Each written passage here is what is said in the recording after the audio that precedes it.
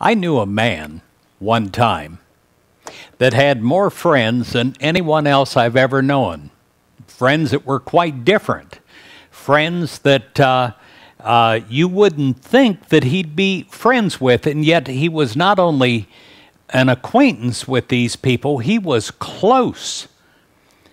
He said to me that his friends were like a garden.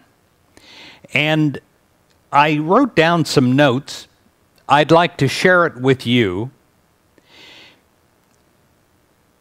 It may be helpful to think of people in our lives as flowers in a flower garden.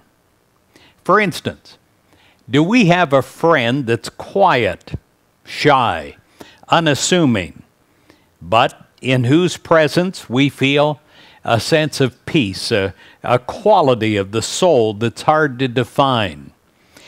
Do we have such a friend that needs to be given special attention in order to fully enjoy this person? Perhaps he's best enjoyed when no one else is around.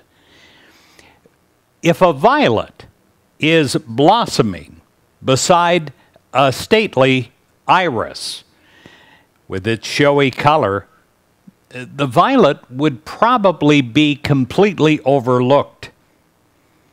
Like the rose, another friend may have a showy appearance, the coloring may be delicate or brilliant.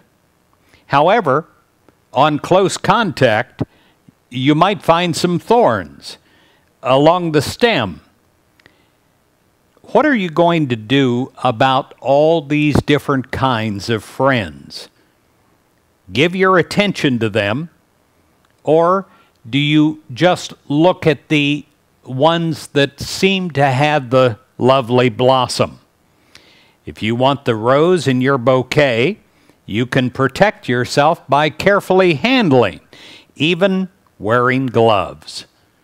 The beauty of the rose that it has to offer, your banquet is more than worth the trouble.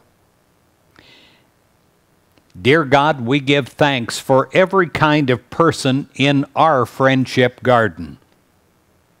We give each one the freedom to be herself or himself, just as we ourselves want freedom to be ourselves.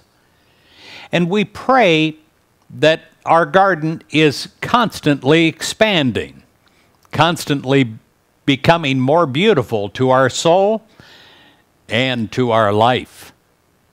In Jesus Christ's name, amen.